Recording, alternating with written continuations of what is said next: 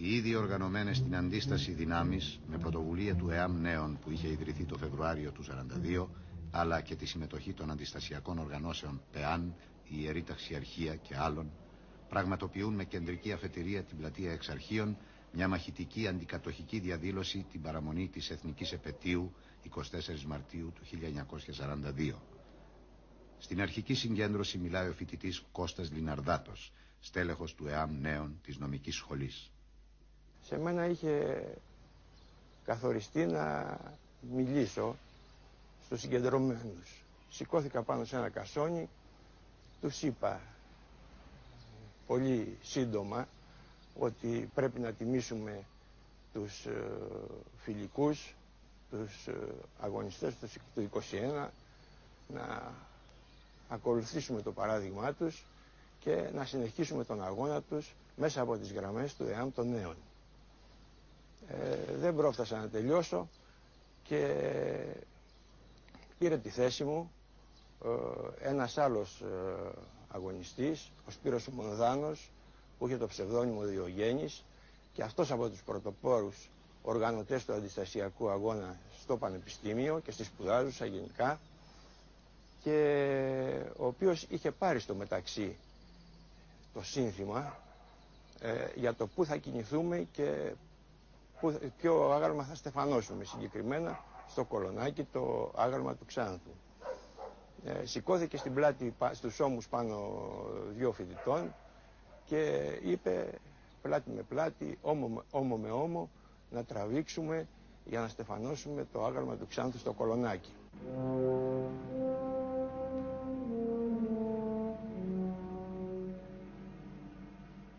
Από νωρίς σε διάφορα σημεία της Αθήνας ε, πραγματοποιούνται συγκεντρώσεις που όλες θα συγκλίνουν προς το χημείο της οδού Σόλωνος. Εδώ πέρα. Κάποτε εδώ ήταν και το γυμναστήριο του Πανεπιστημίου, χώρος που προσφερόταν για συγκεντρώσεις. Στο χώρο εδώ του χημείου, ε, ώρα με την ώρα, λεπτό με το λεπτό, ανεβαίνει ο πυρετός μαζεύονται όλο και περισσότεροι άνθρωποι. Ε, θούρια, τραγούδια, συνθήματα, εμβατήρια, ο εθνικός ύμνος ε, δημιουργούν μια ατμόσφαιρα που ξεσηκώνει όλο και περισσότερους ε, ανθρώπους. Όταν προχωρούσαμε και φτάσαμε στη γωνία Ζωοδόχου Πηγής και Σόλουνος, από ένα μπαλκόνι θυμάμαι, κατέβασαν μια σημαία Τη σημαία την πήρε ε, ο Διονύσης ο Παπαδόπουλος, στέλεχος της ΠΕΑΝ, που εκτελέστηκε μετά την ε, ανατείναξη της, ε, των γραφείων της ΕΣΠΟ από την ΠΕΑΝ και ήταν φοιτητής της νομικής. Ο Παπαδόπουλος διακρίνονταν για την τόλμη του, για το θάρρος του, για την πρωτοβουλία του και συνεργάζονταν στενά με το ΕΑΜ των νέων στη νομική σχολή.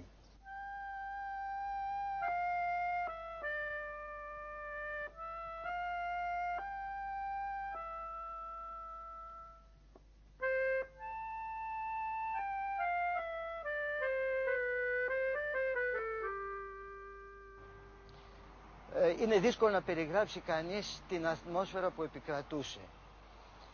Πάντως, όλοι όσοι συμμετείχαν χαιρόντουσαν, ζούσαν με ένταση την κάθε στιγμή ελευθερίας που κατακτούσαν μέσα στη διαδήλωση. Ήταν μια ωραία κατάσταση που είναι δύσκολο να την επαναλάβει κανείς στη ζωή του ο ενθουσιασμός της μάζας ε, παρέσυρε και τους πιο διστακτικούς. Πολλοί βγαίναν από τα σπίτια τους και ενωνόντουσαν με την ε, διαδήλωση.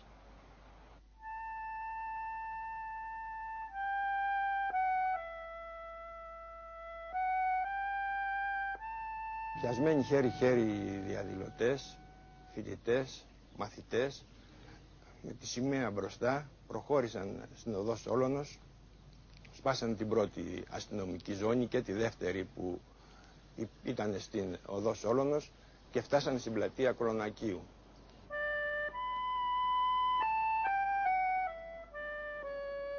Εκεί μια φοιτήτρια ε, στεφάνωσε το άγαλμα του Ξάνθου με ένα δάφνινο στεφάνι.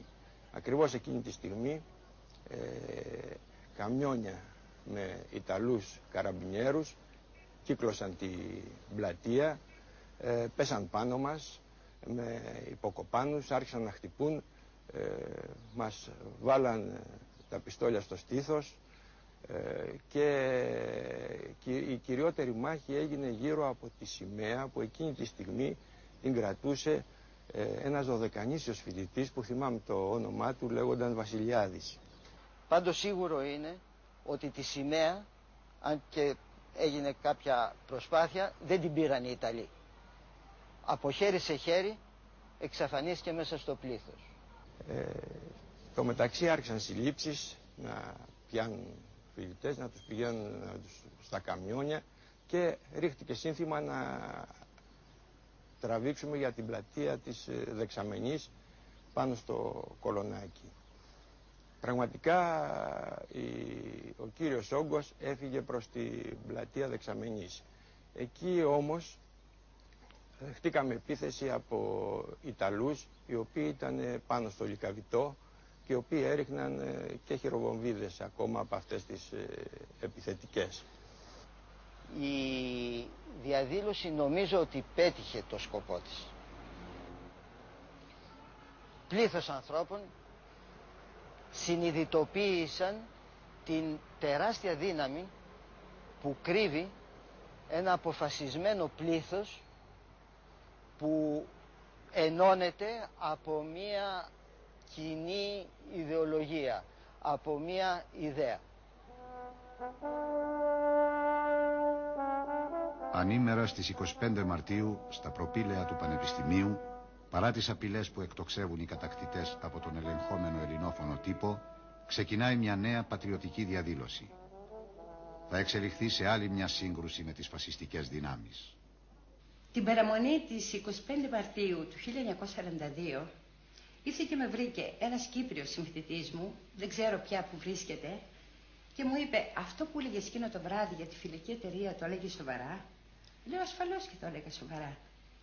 Μου λέει αν θέλεις έλα αύριο το πρωί στα προπήλαια του Πανεπιστημίου. Εγώ πραγματικά εκείνο το βράδυ ένιωσα τόσο έτσι ε, αναστατωμένη, ε, ανυπόμονη, που σχεδόν δεν κοιμήθηκα. Το πρωί στις 8 η ώρα βρισκόμαστε στα προπήλαια. Ξαφνικά είδα από όλα τα μέρη να καταφτάνουν ομάδες ομάδες αγοριών και κοριτσιών, ώσπου μαζευτήκαμε κάπως σε εκατοντάδες. Ένας φοιτητής είπε κάποια λόγια που δεν ακούσαμε γιατί τότε δεν υπήρχαν μικρόφωνα, αλλά έγινε ξαφνικά ησυχία. Είδαμε ένα στεφάνι που στεφάνωσε το άγαλμα του Ρίγα και όλοι, όλοι εμείς γονατίσαμε και αρχίσαμε να ψέλνουμε τον εθνικό ύμνο. Ήμουν φοβερά συγκινημένη και νομίζω ότι την ίδια συγκίνηση πρέπει να νιώθανε και οι άλλοι νέοι που βρίσκονταν εκεί μαζί μου. Οι Ιταλοί θα επιτεθούν στους διαδηλωτές και οι συγκρούσεις θα συνεχιστούν για πολλές ώρες στους γύρω δρόμους.